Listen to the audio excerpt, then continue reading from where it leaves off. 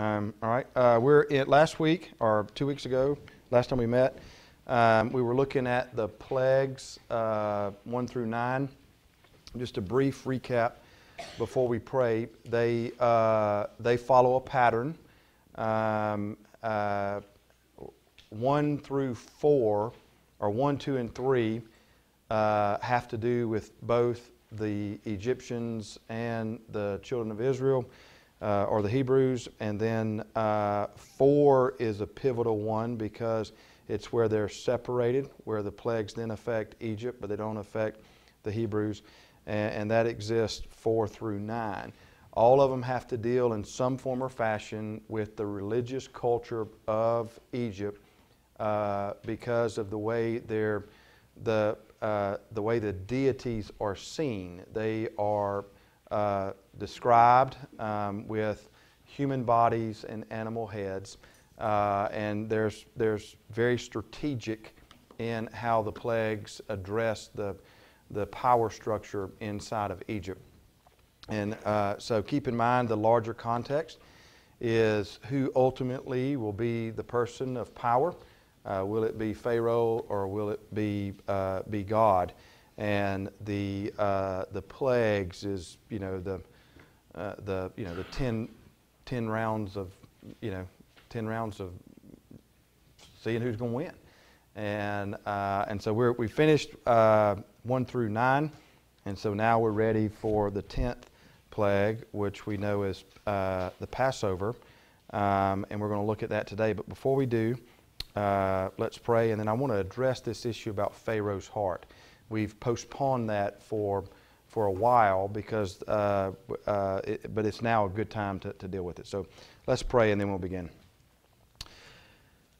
Oh God, as we gather uh, again in your name, we're grateful. We give thanks uh, for your mercy, for your grace. We pray, Lord, uh, for a couple things. The the people that we have mentioned and, and the situations there, and then also uh, the ones that we will write down on our on our pad, and then just a host of others that we uh, we're mindful of.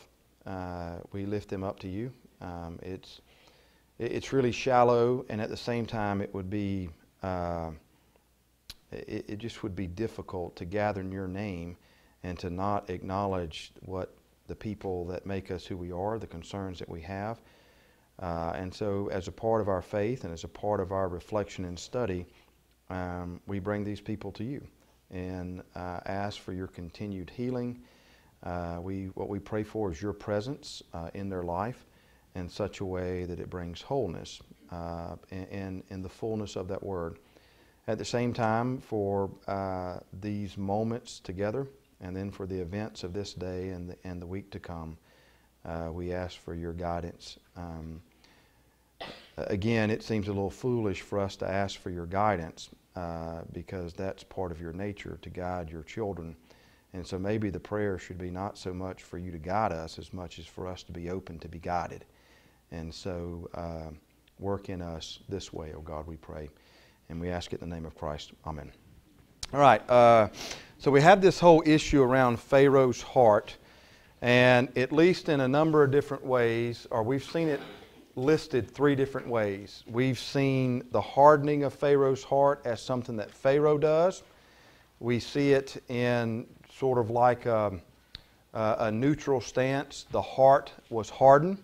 And then there have been times where we have seen in the text where God has hardened Pharaoh's heart.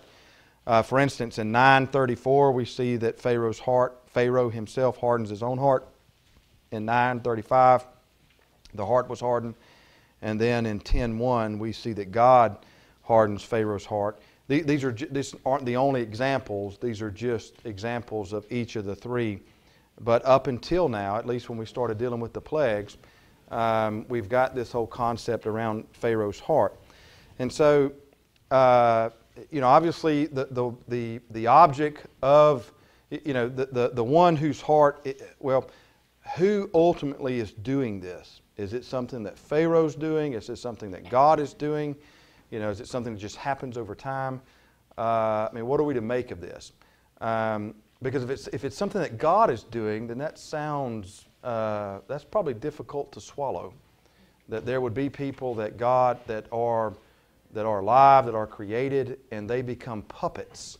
Uh, I mean, uh, you know, there's a at least from my perspective, there's a part of me that says, um, well, Shane was created for a purpose to to you, you know to, to be destroyed.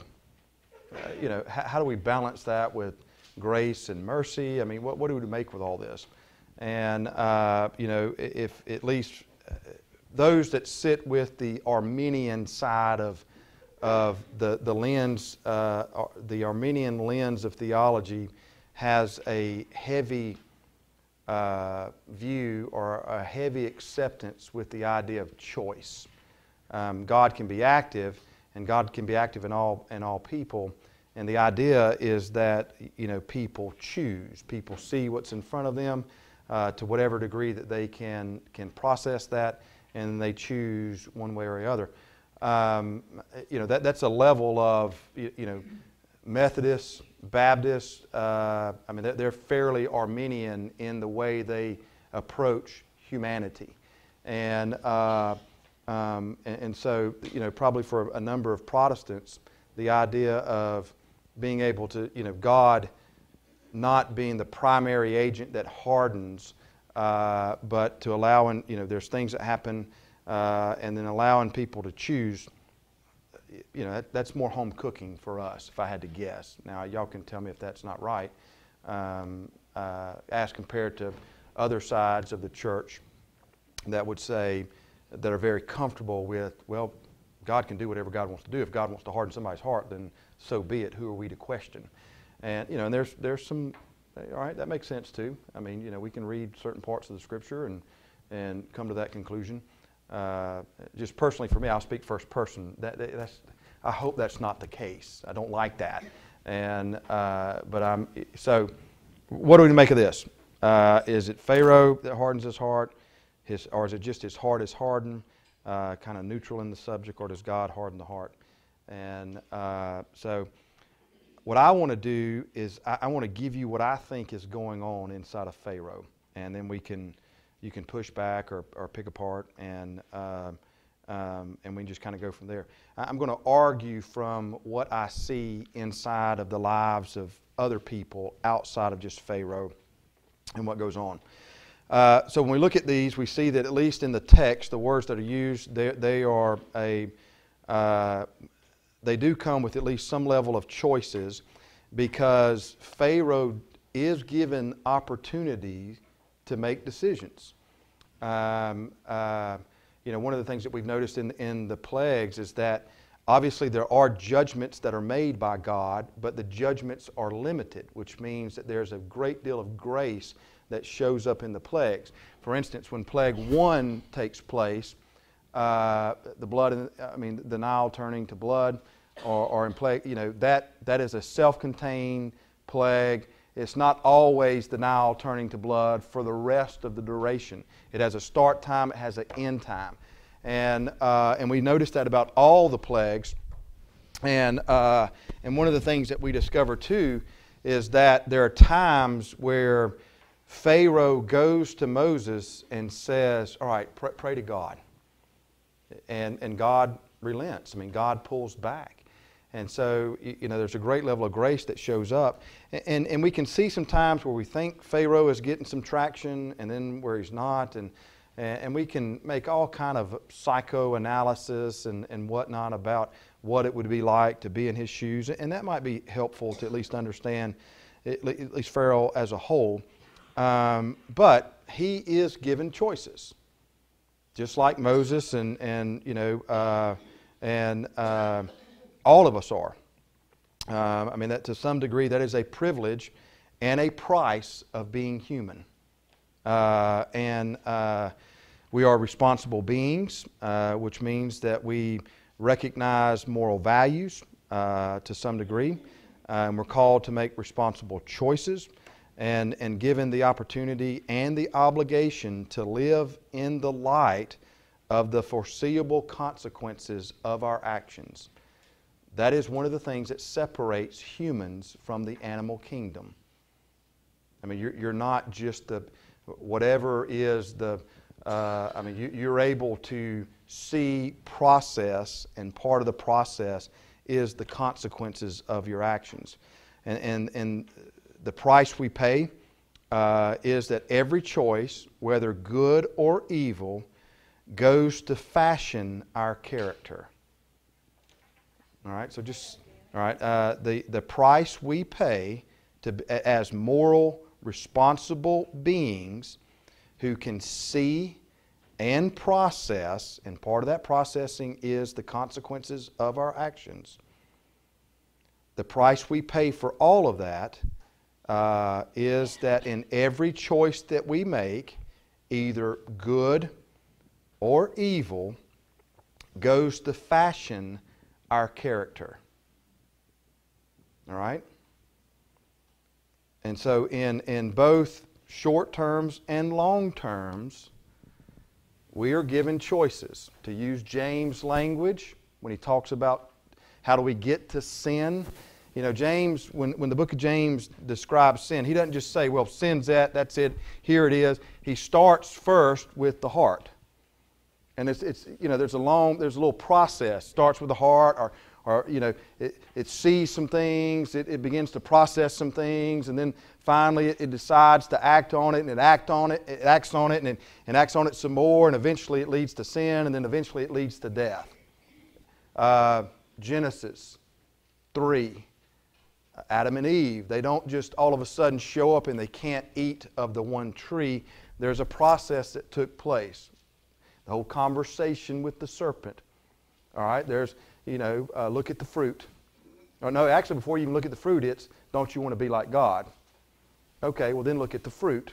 This is the means by this is the method by which you can you can achieve it. And then it says, you know, they look at it, they like it, they like the fruit looks good.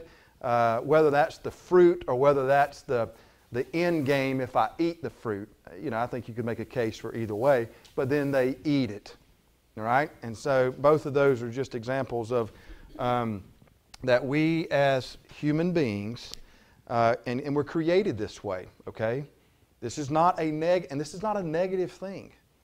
This is this is. Uh, you know, I would argue it's, it, you know, and the psalmist says you're created just lower than the angels. Well, this is part of that.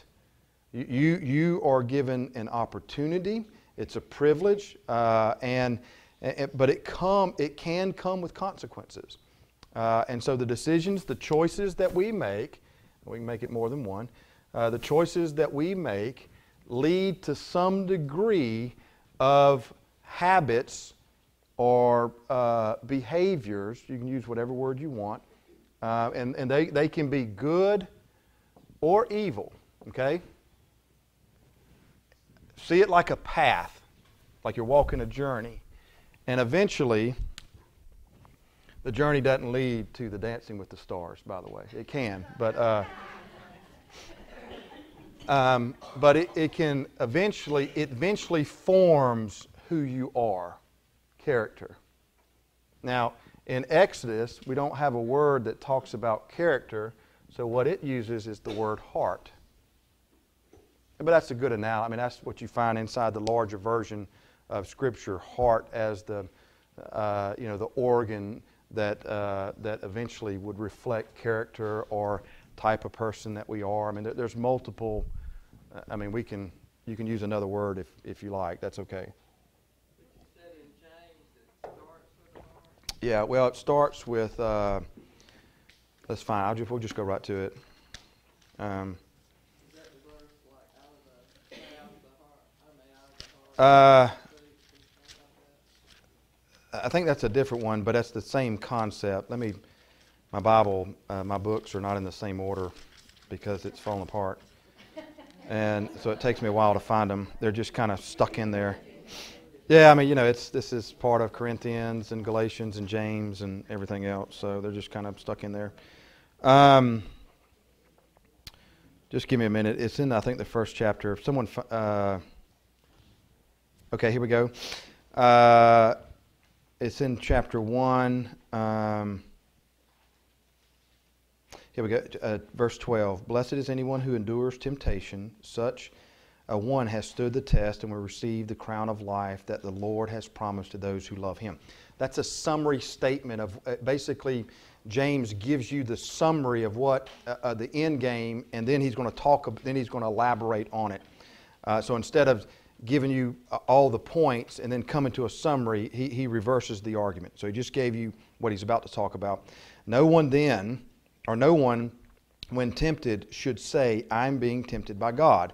For God cannot be tempted by evil, and he himself tempts no one. Here it is in verse 14. But one is tempted by one's own desire. All right, so there's the start, which means that inside is not whole. And so, but it acknowledges it, it's a, it, what, what is implied in this is that people have a choice, okay, to do good or evil. They're tempted by one's own desire. Well, there could be a desire to do good, there could be a desire to do evil.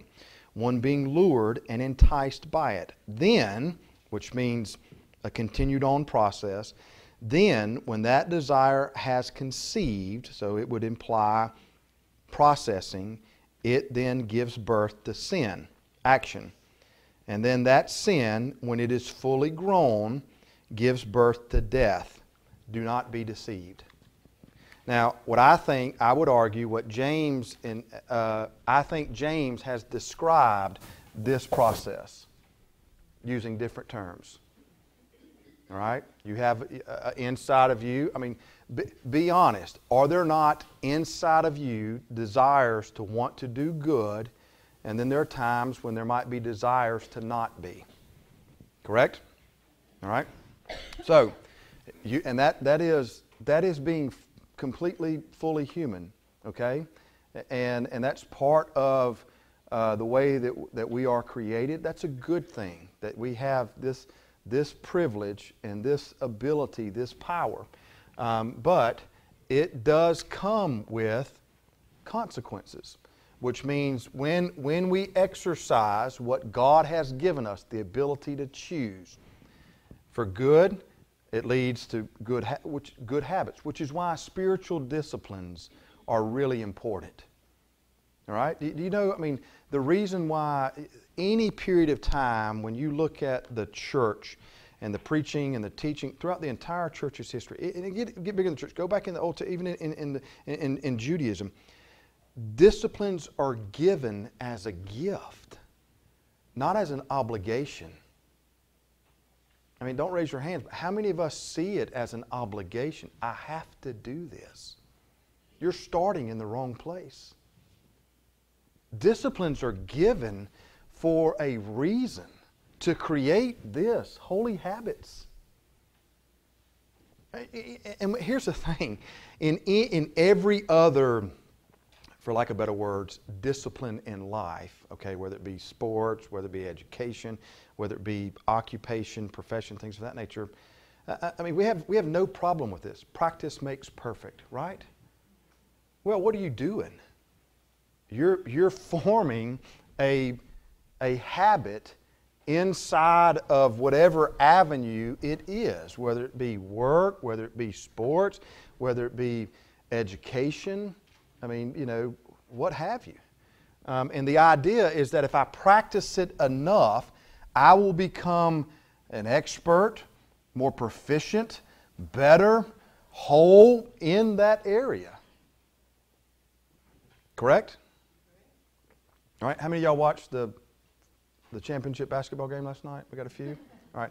There's a reason why when the game's on the line, the guy can step up and hit, you know, uh, three feet behind the three-point line and he drains it. Well, what we did, what the comment, commentators didn't say is, well, this guy has been practicing since he was five years old. How many thousand shots ha- has he taken over his life? For what reason? So that one, he would learn the right technique to shoot. How many times in practice, how many times in previous games have they done that at the last second so that anxiety levels would be down, emotional, level, you know, so that, you know, he, he can make the shot. Okay? And, you know, there's, there's, and that's just, we do anything. I mean, we practice, uh, how many sentences have you read your entire life? For what reason? So you can learn to read. All right? Uh, you know, think back to when you were a little girl. For some, that's a little bit further back than others. That's all right, you know. Uh, just give it a shot, you know. So, uh,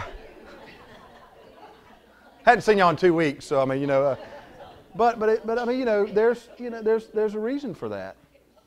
For what reason? So you can you can learn to read. And so when you you know when you uh, when you were a little girl and you hated that, all those times they made you sit and read. Well, you know, probably not the same now. That's exactly right. Yeah, good answer. Fantastic. For those that are watching, she said it's been so long she can't remember. So, uh, but uh, um, it creates a habit. Over time, that habit becomes part of your character. And let, us go back to Easter. Now, you, you came to church uh, or, or whatever church that you're part of uh, on Easter Sunday. Why? Because one, that was probably part of your habit. Maybe another word we might use is tradition or culture. It's part of who you are. But you probably didn't approach it with, gosh, I got to do this again. Maybe you did, I don't know. Uh, or, or it could have been, I mean, I, there's, there's a reason why I want to be here. And there's a, that's exactly right. And there's, there's a, my, the celebratory nature behind it all. Well, that's part of your character. Um, and, and there, I mean, there are a ton of things. I mean, you won't do certain things now because it's had this long list of choices made, hundreds, maybe thousand of them. It's become now a habit for you that you do it secondhand. You don't even think about it, and, and, and it become is part of your character. And so uh, I mean, when people, you, got, you have children that says, well, Mom, I know you're not going to do this. Right? Well, what do they mean? I know your character. Or the converse. I expected you to do that, Mom, or Grandmama, or what, you know, whatever. Uh, why? Well, that's part of my, who I am. And so, you know, those can be, they can spiral up and they can spiral down. Over time, now, what we haven't talked about, it, we've only looked at it from the aspect of, you know, all 100% a human endeavor. What is also mixed into this, where's my eraser? Okay. What's also mixed into this is that God, God is active in all of this, okay? God is active in the choice. God is active in forming the habit. God is active in forming the heart or the character um, you know, to the degree that which God is active, uh, um, you know, whether it's 100% God or 100%, you know, human, uh, you know, that's kind of where we're at.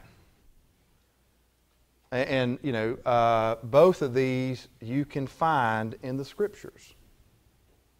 And so, somewhere probably in between here, lies how it works.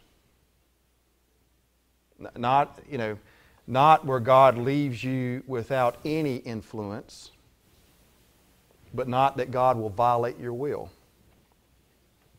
So, probably somewhere in between. Now, if Pharaoh makes choices to act and be a certain way, which over time forms a habit, eventually it will lead to his heart or his character being a certain way.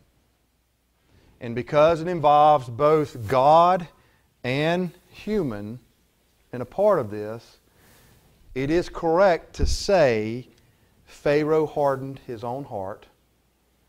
And it is correct to say that his heart was hardened.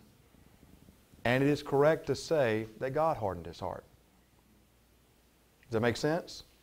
if you look at it from this way back, we see that his heart is hardened, right? Well, how did it become hardened? Well, there are times where Pharaoh was doing it, and there was times that God allowed him to live into his own character he was creating. And so you get all three of these in the text, and they're not in conflict. Does that make sense? Mm-hmm. Word as in Word of God, spoken Word of God as in Scripture. Tell me, okay, which one are you? Well, Okay.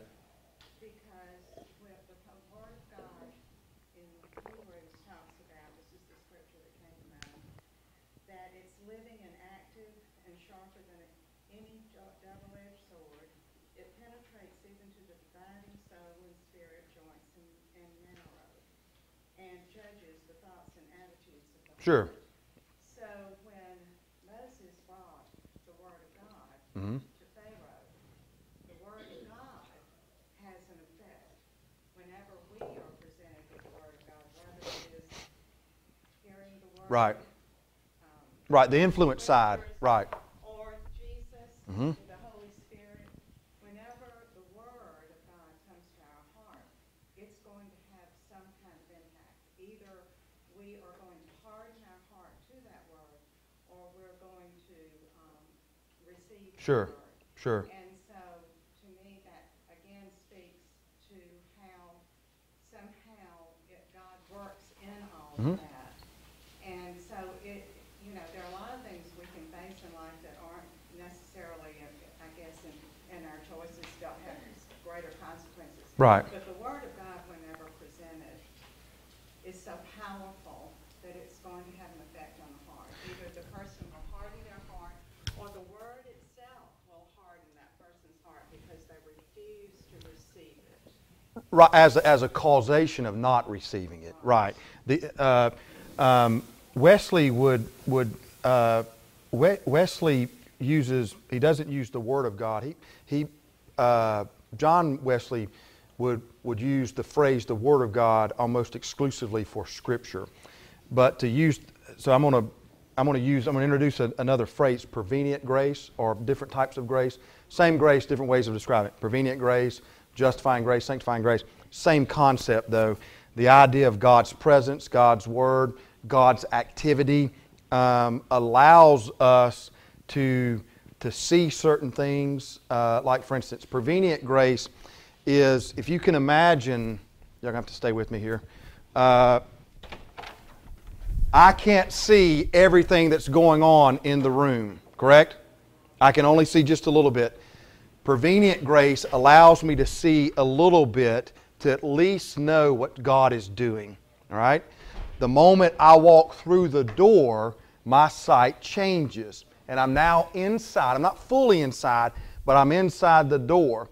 The way we describe what Patty's talking about, the Word of God or God's activity, justifying grace. I now have been exposed to, and I have I've made steps to go with that to the larger kingdom of God's activity. When I walk in and I continue to walk and move and act and breathe and, and live inside of this room, to use that analogy, I'm living inside of God's kingdom. And, and the same grace, different term, sanctifying grace is forming my character. Now, all of these have been active.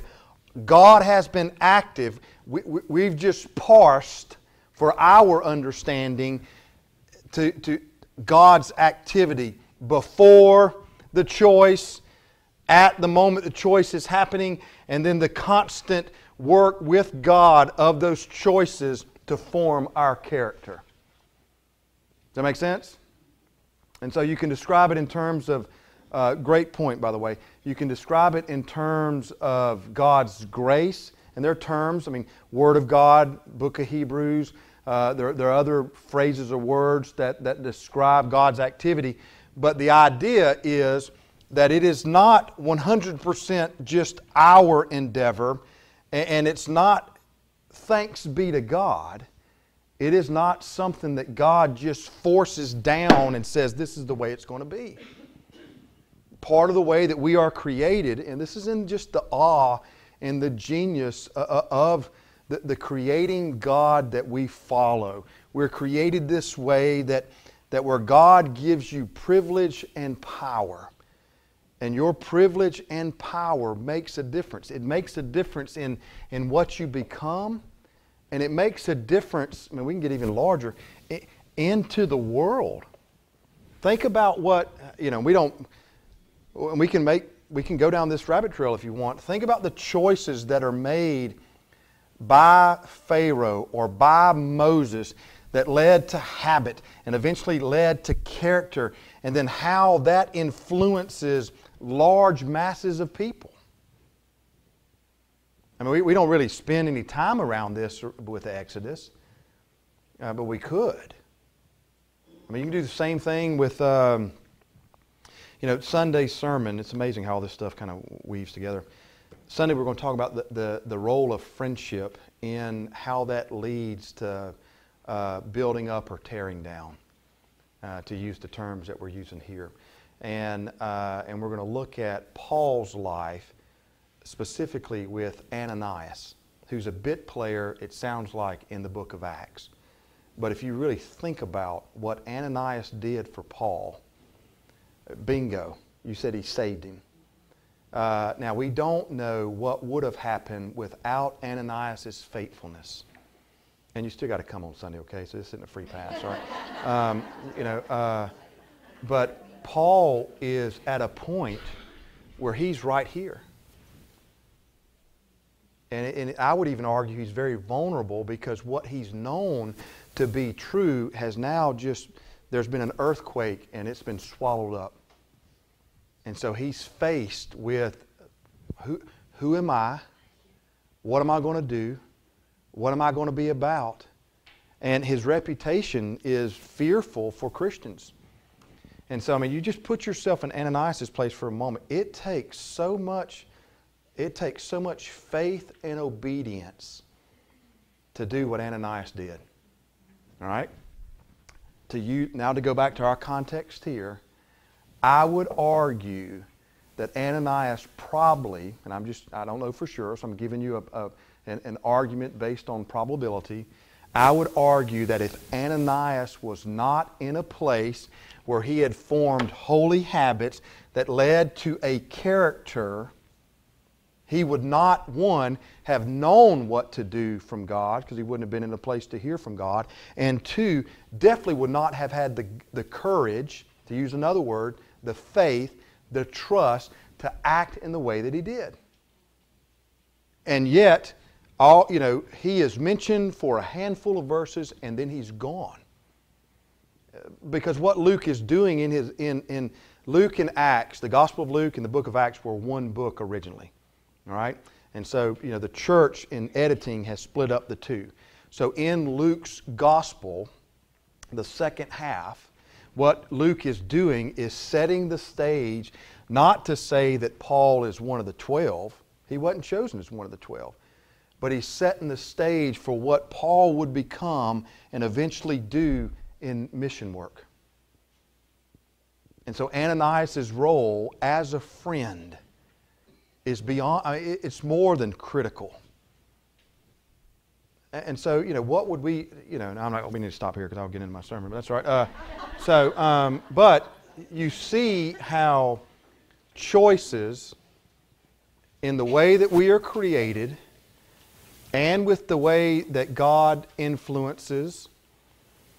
So, God, God is active to some degree, but not in the violation of who you are. Um, Choices can lead to habit and ultimately lead to character. Now, this is a process, and that over time, uh, but over time, it does create something. Do you have your hand up, or was that? Uh, uh um, it, it, it, it creates who we are. And then, you know, and then it creates, I mean, then what happens is there's this circular type effect where the more your character is formed, the more it then influences your choices. When you flip back, you, you hadn't quite developed your character, or you just.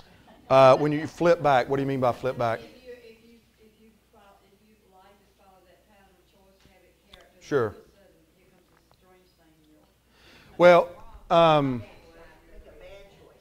Yeah, is it just, is it just you not quite, hadn't quite developed your character, or you just messed up? Well, see, see it as in the character is not fixed permanently. The character is always, if you can imagine, well, to use the Old Testament language, uh, clay being molded. Okay, um, you can take the clay and throw it down, and it just is a glob.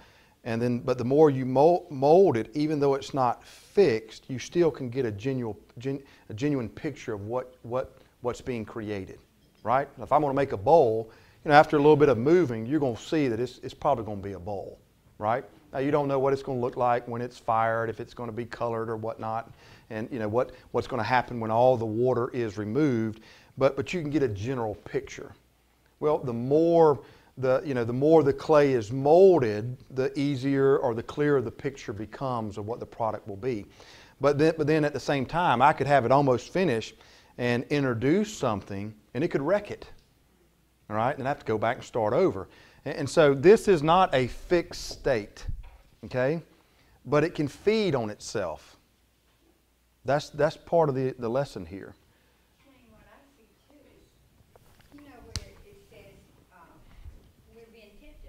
Mm-hmm. But God will always give us a escape. Mm-hmm. And you know, if you think about that, I mean, that can happen to sure. everybody. But you got to be watching mm-hmm. for that escape. That's right. And you got to make that choice to take this. So mm-hmm. that goes from your character back to your choice, right? Right. Well, yeah, that's what I mean by it's not fixed. Um, you know, for instance, if you go back to the James text, let me turn back to that. Um, uh, James 1. Hang on. Right.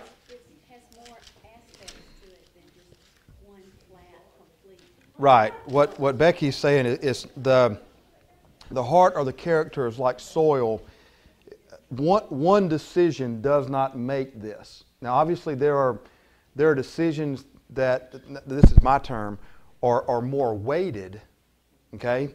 Uh, um, they, they do determine, uh, you know, those are larger bets that are placed, to use a card game analogy, uh, to where they will have a larger outcome. But one, one decision does not determine everything. Um, because, I mean, this is not fixed, this is fluid. And so, to, to use both uh, Pat and Becky's comments, but one is tempted by one's own desire, okay? uh, and then being lured and, and enticed by it. That, that will always be there. That, that's part, that is, that I would argue is the, uh, we haven't talked about just the role of sin, but now we're going to bring in some other theological issues. The, the effects of sin just in general changes, uh, I mean, just uh, the heart always will want the preset place for the heart is to want to be in control. All right? And so part of the character that wants to be formed by God is to change that. All right? Now, I don't think that, per, you know, I would argue theologically that change is not fixed uh, until the by and by. All right? I mean, you know, so uh, that will be a battle that is always fought. Um, but the,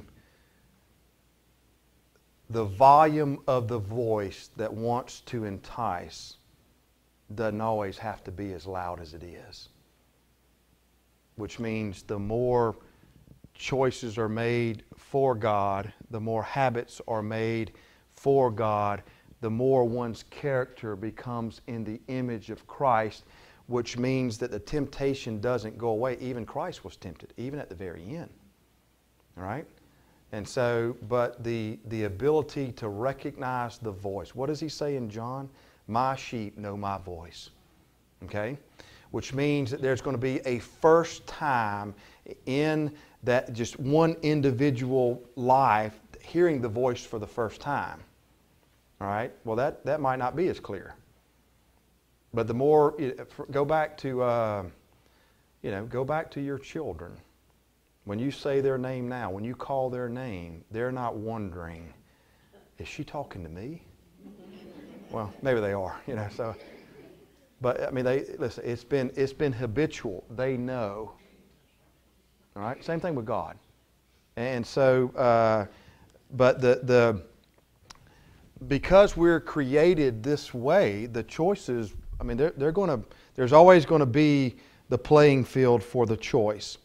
Um, and, you know, and then privilege and power, okay, comes with an opportunity to, in the hearing of the voice, both for good or for bad, to choose good and to have that form that in you.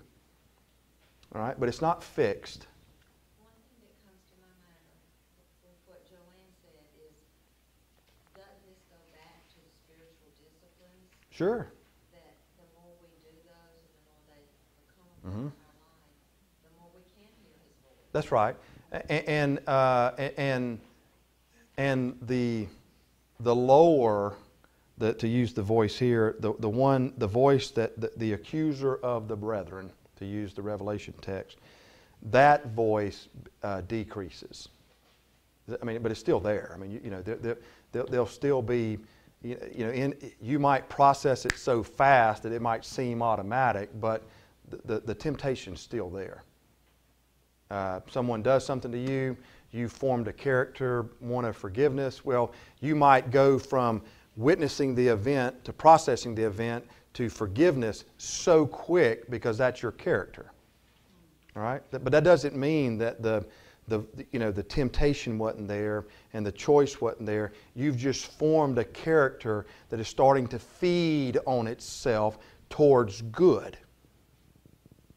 Or, or, or, you know, or the other you know, event happens and there's the choice of choosing forgiveness, to use that example, or choosing something else, you might choose something else because that's the character that's been formed, and, and you immediately dismiss the voice that says, hey, there's a different way.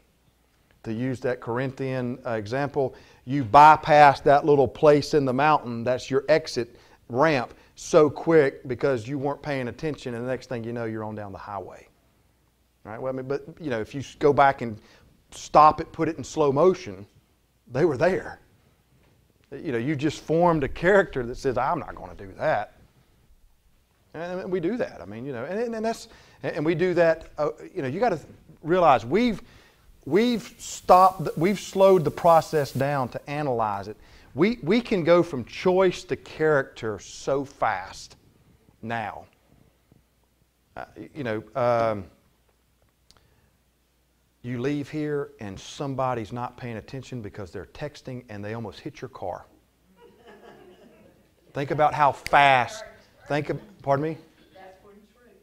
Well, I mean, think, but but think about how fast you go from witnessing the event, processing the event, form thoughts. I mean, in your mind, like the you know, 15 different ways. I can blow the horn. I can dismiss it. I can drive on their tail real fast. I can, you know, I can be mad and talk about it for the rest of the day. And, you know, I mean, you know, I can put a Facebook post and hope that that puts a zinger. I mean, you know, there's a million of these we've processed so fast, like it's, I mean, but think about it. Within what, a second?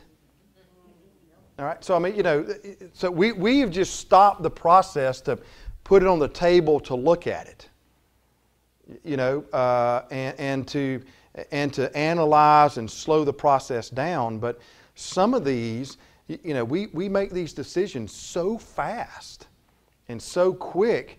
And, you know, part of what I think God does on, on the good, when, it, when we're choosing good, I mean, that's, that, that forms that character, that's fantastic. Uh, but one of the things I think that God influences the process when we're choosing down or choosing evil is to slow us down a bit so we can actually see what's going on inside of us. Some of you mentioned the, uh, the little the prayer path. And I know we're, we're late for a break. We're going to take a break. Uh, but let's just finish this real quick.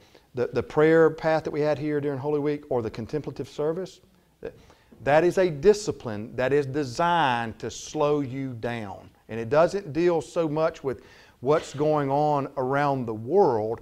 That is a part of it because we are relational people. We're not just one dimension. But the real, the, the goal of those disciplines are, are, are not the journey outside, it's the journey inside. And so, whether it be reading a text, Word of God, Scripture, well, you focus on it. and you stay there for a long time of silence. And, and the, the, you know, contemplative service, when you introduce the scripture, you read the scripture, Lectio Divina, divine word. You read the scripture, and whatever word or phrase pops into your mind, you stay there. And forget the rest of the passage. Just stay there. Allow God to use that first impression to stay there for a moment. And then to, to reflect on it, to chew it up over and over and over and over and over. Uh, and, and to see what happens. Uh, you know, uh, if you're praying for yourself, and you know, most of us have been taught to pray that we need to pray for other people. Well, that's great. It is. But if you think that's what prayer means, you've only scratched the surface.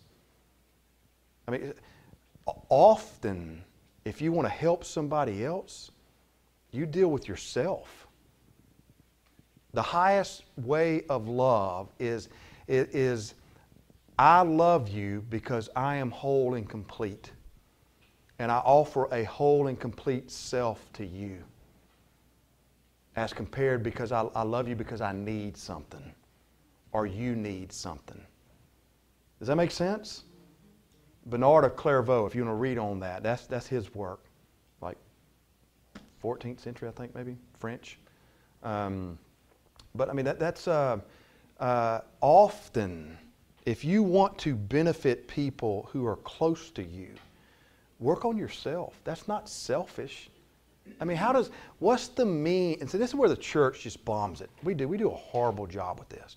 We think love means we've got to go out and be codependent. That's, that's, I mean, go back and listen to old sermons. Hopefully, you know, not from us, but you know, go, go back in your mind or, or dig them up. Sermons about love. It, what, we, what we talk about is co- our service. We, we, we, we describe them in codependency.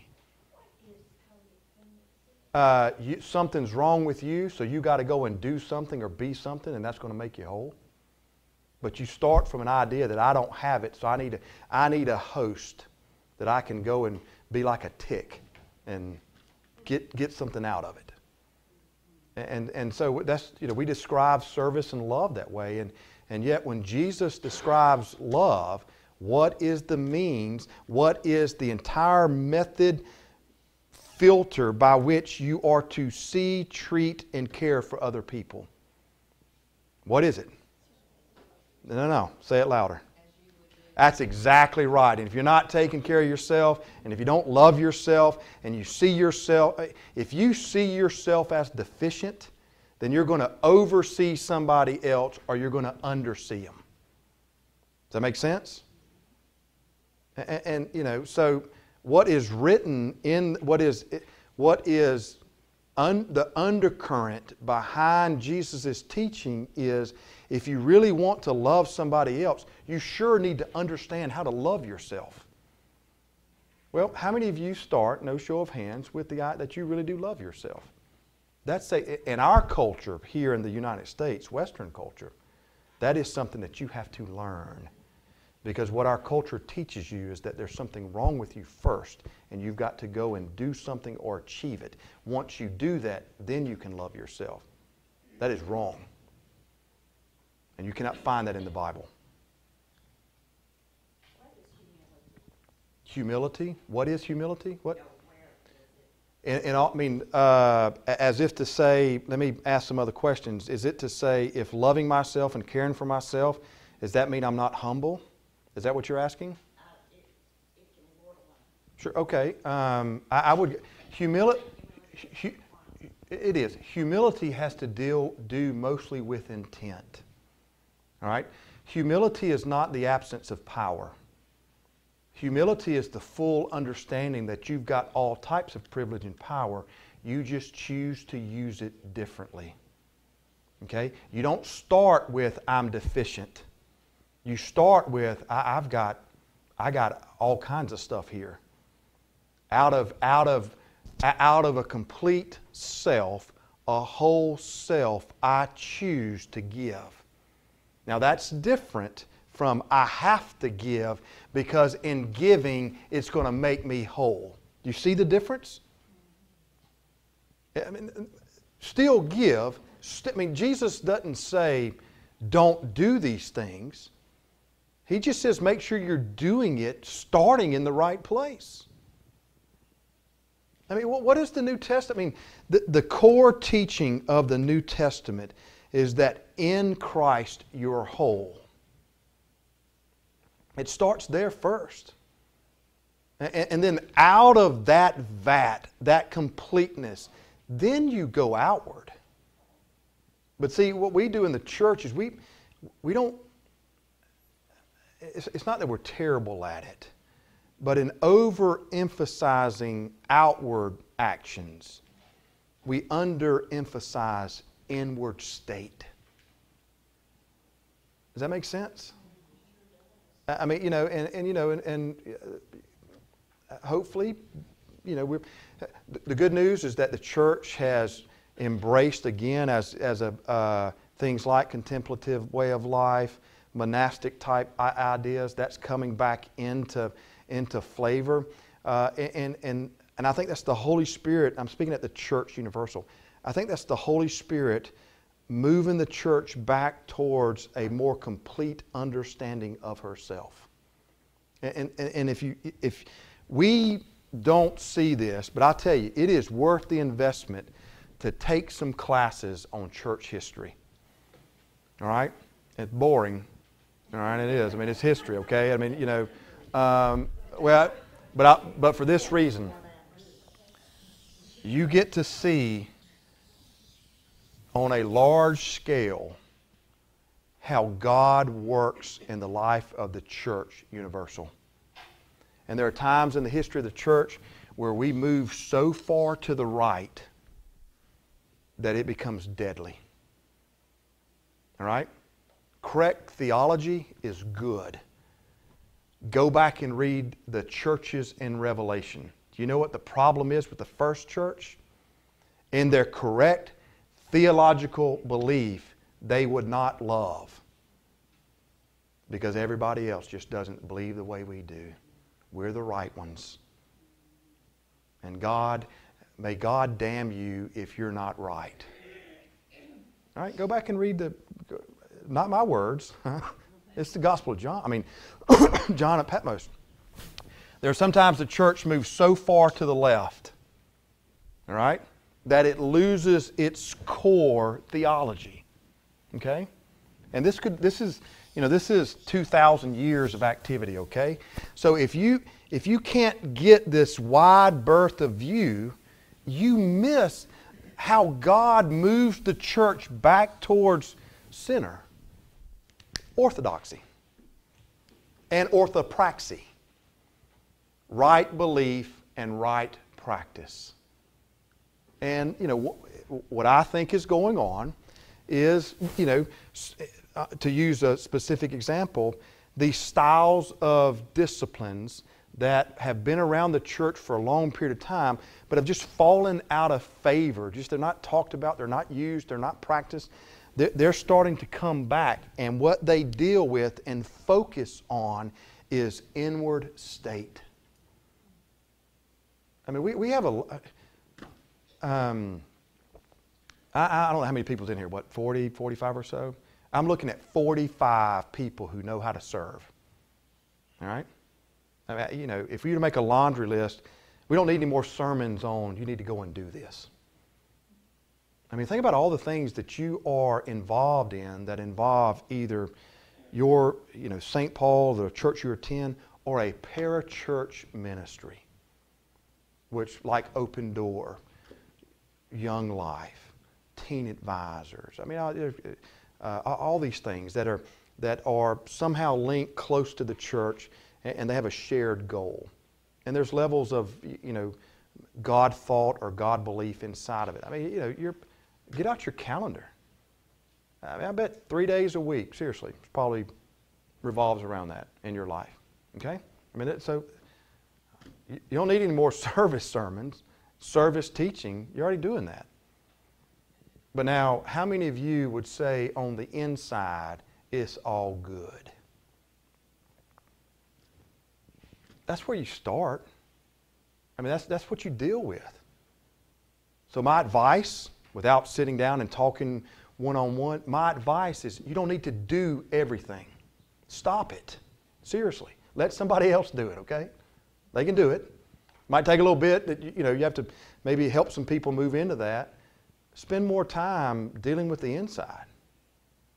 And that's harder work because it'll force you to be by yourself and deal with the things that, I mean, there, there's a reason why our culture, our church culture, runs on service. Because if I can be so busy, I surely don't have to pay attention with what's on the inside. I can run myself ragged. Eh, clergy aren't the only ones who burn out, friends. Because we make choices. And our choices will eventually lead to habits. And they will form our character. And, and if we are not cultivating an inward love for Jesus, that even if I didn't serve, I will still love Him, then, then you're just. Hear me on this. I don't mean it exactly the way I'm going to say it, but I'm going to say it to prove a point. We might be just as guilty as doing, making a bad decision even in a good way. That is a bad decision. Uh, sure, it is. I mean, let, um, what's interesting to me, and this is, I fight this demon too, okay? And uh, all right, the last one I promise we're going to break. What's interesting to me is this Jesus did not have any guilt leaving people in need to go away for a period of prayer and meditation and inward focus. Go back and read the Gospels. Well, let's get up and go. Well, there's other people that need to be fed. I understand that. We're going to the other side. How dare he? Oh, sure. That's what I'm saying. We, we, we, we've done, we, I say we collectively, all of us, have, have done, you know, we, we have sacrificed the inward state for outward actions. All right, that's good, all right, in one sense, because it is helping others, all right? Um, but at some point, you're going to reach that tipping point to where you're burning reserves on the inside. And if you burn them long enough, the inside becomes, uh, becomes hollow. Well, when that happens, be smart. Listen to the Spirit. It is okay to say, I'm not going to do this for a season, right? You're not going to hurt my feelings, okay? You won't. There are other people who can do it. But now, for this caveat, that you're working on the inside. It's okay. So, you know, I'm telling somebody, so in the fall, I think we're going to start a, a contemplative service on Wednesday nights in line with some of the other things that we do on Wednesday nights. It's not to be competitive, it's not, but I mean, it's the idea that there might be some people that, you know, a handful or whatever, that, uh, you know, after supper want to go and to work on inward state. So, we're going to design some act, you know, some, some worship around that. Yeah, I mean, no, it's, and it's only going to be for a period of time. It's not going to be, you know, it, but, but it's. Sure. Well, well, there'll be some, and there, after a while of inward state, what'll happen is you'll get antsy because you feel like you need to go and act on it. Okay, well, go out do outward service. You know, uh, maybe in the process you find that right balance where you're feeding on the inside and you're feeding on the outside. It just doesn't have to be either or. That's the thing. You, you live, you act out of your inward state. Well, if you're not tending to the inward state, then, you know, it, it'll die.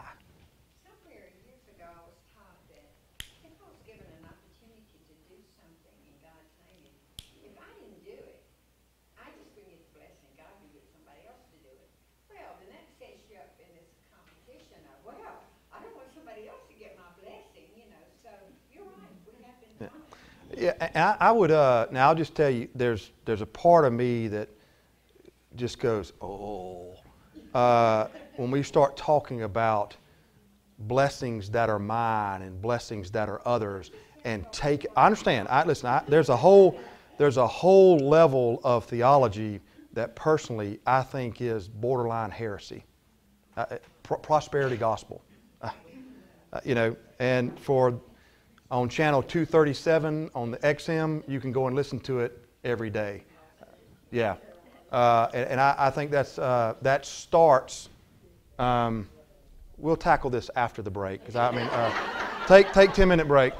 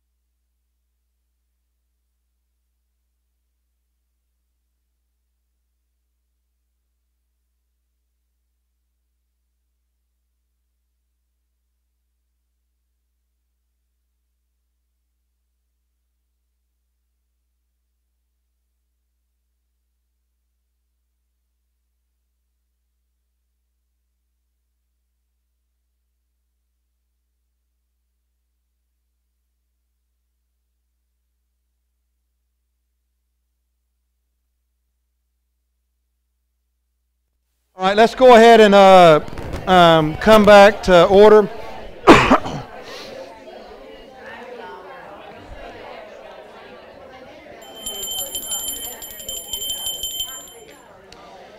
All righty, uh, you should have a copy of the uh, prayer list. I've got a few extras up here if you did not receive one. And uh, um, so we'll, we'll pick back up. Uh, wow. Um, yeah, it's a good thing I passed out that one sheet that we were going to actually fill in. Um, yeah, exactly right. So uh, uh, I do want to spend just a moment around uh, um, this whole concept of what is uh, what inside theological circles we call prosperity gospel, and uh, that, that's a term you might or might not be familiar with that, and that's uh, but but it, it's of it's been around. It's not just a modern uh, view of theology or a mo- modern development. I mean, it's been been around the church for a while. I mean, you can find elements of this uh, in in a number of different areas. Uh, I, am going to give you my perspective, and uh, so I mean, just treat it with an asterisk. I mean, you're getting a lot of I mean, you're getting my theological reflection. So, I mean, it's not where it, it's, it's not absent of Bible or absent of theological thought or absent of church history and tradition. Um, but but I, I, think it's dangerous if, if we're not careful because it can create a slippery slope. So, which is why I said it's borderline or, or half. Uh, um, and my, at least my perspective of the modern view of this is that it the slippery slope falls pretty quick. And, and so, and it can be, uh, it, it, can be a little damaging to, to people uh, if we're not careful. What I mean by prosperity gospel is that um, Jesus becomes the ticket, all right? And that faith then becomes a means by which uh, to receive blessing uh, but the way blessing is described uh, is not in terms of Beatitudes, blessed. Okay? Uh, um, it's described often in uh, absence of pain in life or hardship and financial gain. And that, when it goes there, is where we've tipped over on the slippery slope. And uh, because when we, when we tip, when we tip over, you know, if this is the point by which we tip over, we move into a very me dominated view of theology, God, and the world, and not a God dominated or centered theology. To look at it differently would be here if faith is the means by which for you to be blessed, and I'm emphasizing the you, the center behind your theological construct, the center behind the intent of your actions is for you to receive. All right? Does that make sense? So you do something in order to get something. And the real reason why you're doing it is to get something. That is pagan in its understanding.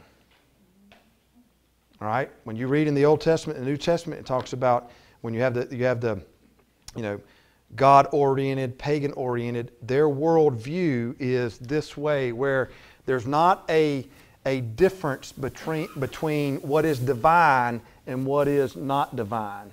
What is create or what is creator and what is created. It's all mixed together. Okay? And so, what the person must do is figure out the right means by which to pull the divine lever so you open up the divine world for you. Magic. Think about magic. I have the right incantation. I do the right thing. I say the right thing. I can get the desired end because I'm tapping into the, to the divine world. Does that make sense? Which is why in the Old Testament, and you have magicians and pagans and things like that, all, a lot of times they're listed in the same sentence. It is to describe a worldview that is me dominated and I can work the system to get what I want, even if the system is God. Okay? Does that make sense? All right. Prosperity gospel flirts with this line. Okay? You, God wants you to be blessed. And, and it's often described as that's the whole purpose for God. That is not the purpose for God. Not even close to the purpose of God. God exists for God's own, because of God's own will. The fact that we are included in this is just a wonder of God. That's exactly right. But let me tell you who God operates first for God. All right? Which is why he's, when, when, when the scriptures say he's a jealous God, that's not negative. That's just setting the bar where it should be set. He doesn't exist for us. Um, Presbyterians, any Presbyterians? Uh, sort of. The first, first, what's the Westminster Confession? Remember the, remember the, the shorter catechism?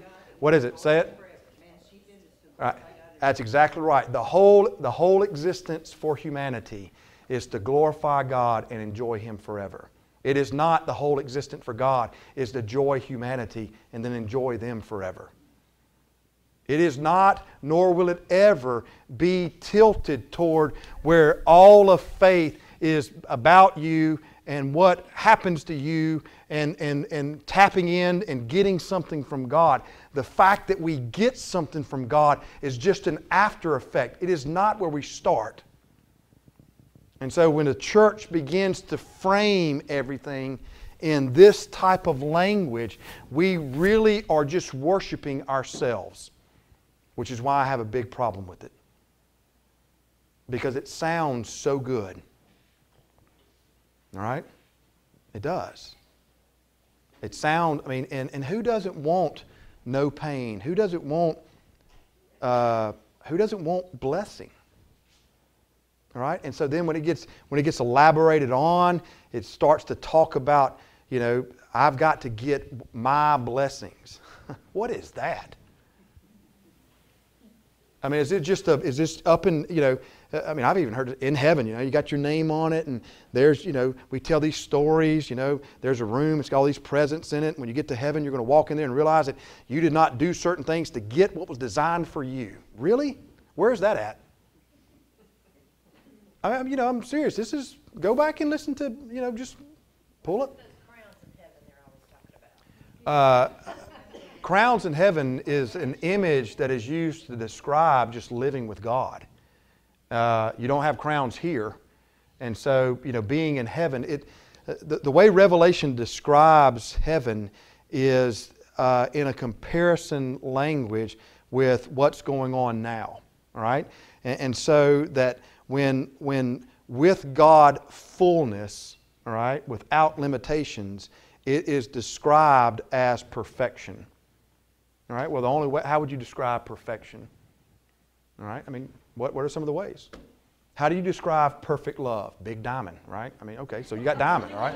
Gold, strip, I mean, fry, okay, well, you know, if, if, if, if, if Becky's writing the book of Revelation, it'd be fried chicken. So, I mean, you know, uh, um, well, it describes eating, feasting at table, you know, uh, plenty of food, plenty of drink, plenty of, you know, uh, there, there's, there's nothing that's lack of. And so uh, you, you see the, the now and the, the not yet aspect of heaven, aspect of the fullness of kingdom of God in the not yet understanding of that, as in when, when the not yet becomes the fullness or becomes the reality, we enjoy God in His fullness. Okay? Well, how do you describe that? I mean, if you're a person, okay, well, you, you can, you, you, you have to describe it in means and terms by which you know. Well, I mean, you know, if we were going to describe it i- i- in our lifetime, you know, it might be fried chicken, you know, or whatever, grits and eggs for me. Okay, I like that, you know. Uh, but I mean, but you, you understand? I'm, I'm being a little. Well, but but but in our society, how would you describe perfect? No flaws. Okay, no flaws. Well, put. All right. All right. No, seriously. If you're going to write a letter to this group about what perfect reality would be, how would you do that? No flaws. That's it. That's the only thing we're going to put. I mean, you know. Right. I mean, you know. So you get this terminology that says, you, you know, uh, no flaws, no lacking, things are full. You know. And so when you read when, when you read terminology in the New Testament about heaven, uh, I mean, it is described in those types of terms. Okay? And, and the idea is compare that with what it is now. And so, I mean, now heaven, you have a now and a not yet component. And so, when we describe the not yet component, it is in stark contrast to what we have now. All of it is seen in that you are enjoying the fullness of God forever. Now, if that is literal crowns, maybe. I mean, but there's plenty of information that says that that's the, that's the only way that John, that's the best way that John could describe what it means. People who don't have anything, they have something. They have what? They have the epitome of what it means to be a king or a queen. Right. So, I mean, it's not mine. Okay. All right. Stay with there. Okay. So, that's exactly right. All right. When, when it's this, though, it's my crown. All right? Okay, well, but you can't in, in that level of understanding, that level of theology.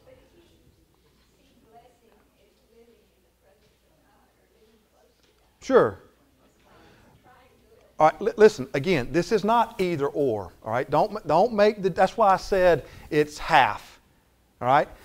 There, there, you can talk about blessing, a blessed life. You can talk about, you know, what, what we do receive when we live in, in God's will, when we live in God's kingdom. That's fine, okay?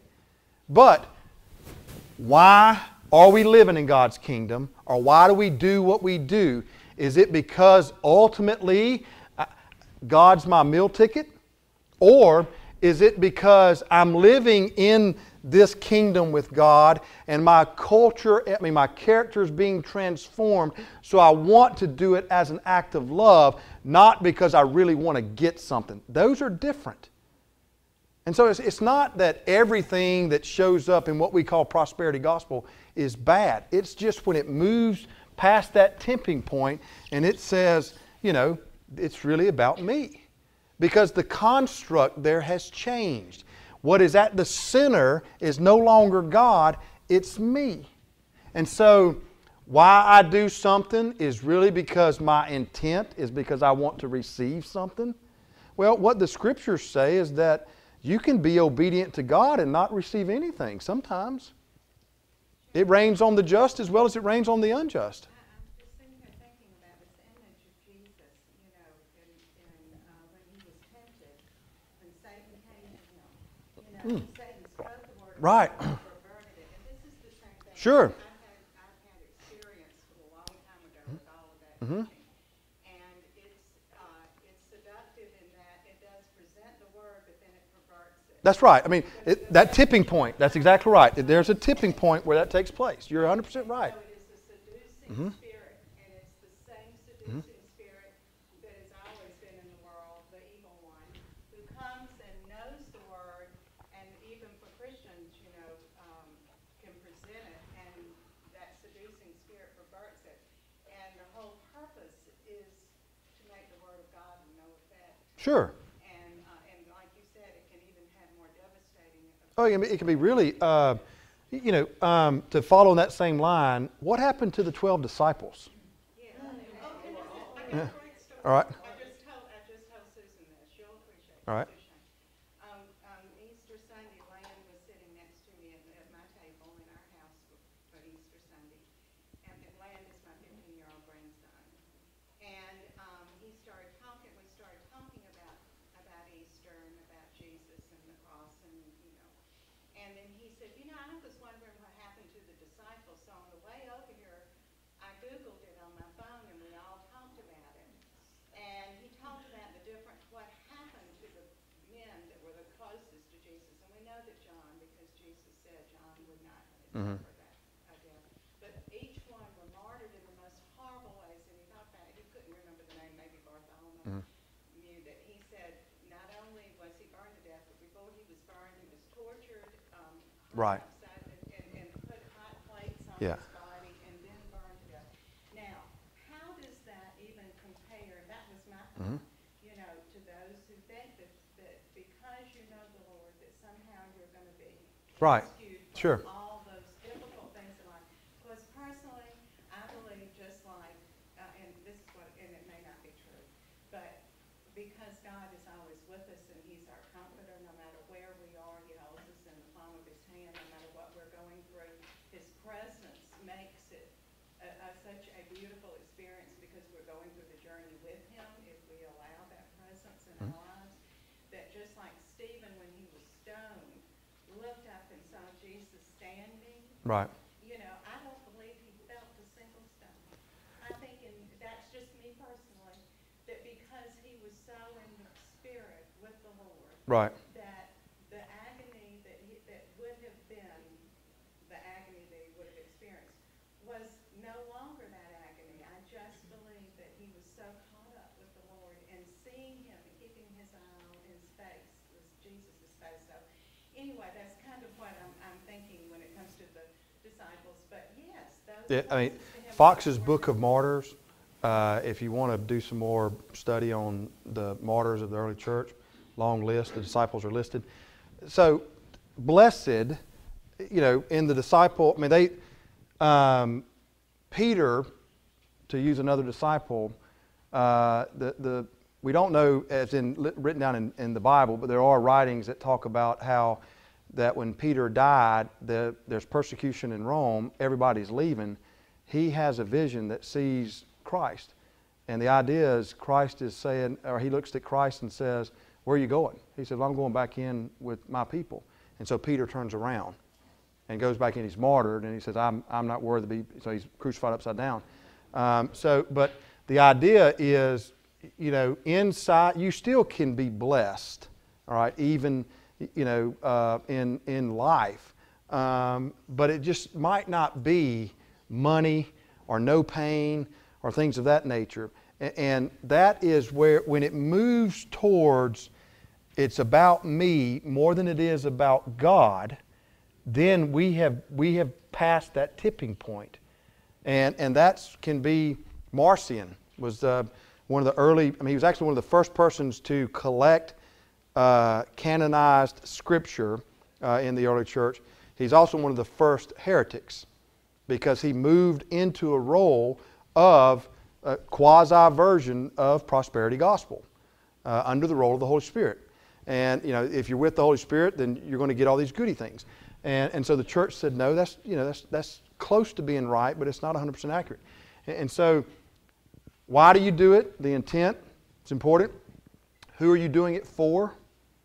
Are you doing it for yourself, or is it you know are you doing it because you belong to God? And and, and if if something good comes out of that, uh, you know whether it's good or bad, it rains on the just and the unjust.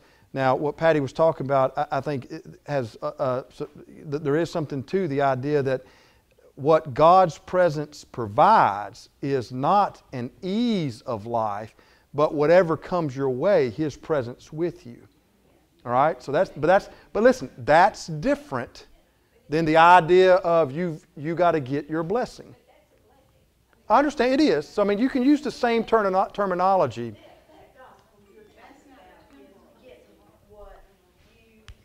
Right. Sure. So, right, and so when we talk about, uh, this one's gone. When we talk about sin or blessing, and so often they're used in, in dichotomies uh, in, in this line of thought, um, uh, blessing becomes more of, uh, someone mentioned temporal, I heard that, uh, or, or something that you strive after. Uh, sin is described as not receiving a blessing. Well, you know, at, not receiving blessing in terms of it being something physical or something along those lines. And most of the time, it ends up in described in pain-free existence or in financial gain. And that's, that's again where we move into the temporal point. Don't listen, don't see that, I mean, there's, they have the same terminology, okay? They'll mention, I mean, we'll mention faith, we'll mention God, we'll mention sin, we'll mention blessing, we'll mention grace, we'll mention all these things. It's just the definition behind the terms are different. And, and that's where it can become confusing and can even become destructive because it, it, it'll, it moves from an existence where God is the core or the center, center, center of the circle, to you or me or a human being being the center behind it all. And they are two vastly different things. And, and so, even in quasi spiritual Christian you, you know, description, you still can be operating in two different circles. And then we got, we're probably going to have to leave, yeah. All right. Go ahead. I'm sorry. You, we got one more time. Well, I was just gonna say, the one, the, the temporary blessing of the knee center is always temporary. Sure. Other one goes with it. Right. Well, let me. Uh, can, can uh, uh, Jean? Oh, okay, okay, different. Okay, different. Um, I, I got you. All right. So uh, what she said was that uh, the temporary, the blessing is temporary. Is that right? Yeah. The me-centered understanding is the blessing is. Uh, yeah, it's always temporary. It's never forever, uh, and more. I think you said more outward nature uh, in in design. Um, and, and one of the ways, probably a good way to, to sum it up, you can be blessed and still be in, you know, in the middle of the hurricane. Does that make sense? I mean, you know, and so I don't mean the eye. All right, that's supposed to be a peaceful place, you know, but in, in the waves, you know, uh, that that's a different understanding and a different description definition of of being blessed, and uh, you know why why who do you exist for? What's your whole purpose, goal in life, things of that nature. When other way in the me centered, the fact that you're in the hurricane would be often described as that you're living outside of blessing. Well, that's, I mean, that's not true. And so, you know, uh, again, has same terminology, uh, um, but, but the way they are described and the, and the purpose and the intent behind actions, either from person or from God, they are different. And, you know, and you, you know, when it, when it starts to form towards the idea of, you know, you need in some form or fashion, however it's described, to receive what's yours. Just be careful. All right, it might be 100% thoroughly biblical, okay? But historically, it's moving past the tipping point. And, um, you know, my, my advice is to, you know, to sift through what's being said. And is it, is it for ultimately God's benefit or is it for your own benefit? Uh, and if so, what are those benefits? Um, uh, because it, it's, it can be, uh, it can sound so attractive. And, uh, and yet it could be a, a good bit away from, uh, from living in a kingdom where God is, at, is the core of it. Uh, uh, you know, don't, don't go away fearful of like, oh my gosh, what, you know, is this, is this it or not? You know, just continue to live and, and, you know, and, and seek to be faithful. Uh, but if, if there is a constant message or a constant theme that is more seen in something like this, just be sensitive to that. Uh, because it, I mean, it, it's, um, I mean, you know, it's, it's around. It's very, it's, uh, it's very attractive in today's culture. Um, and it, it,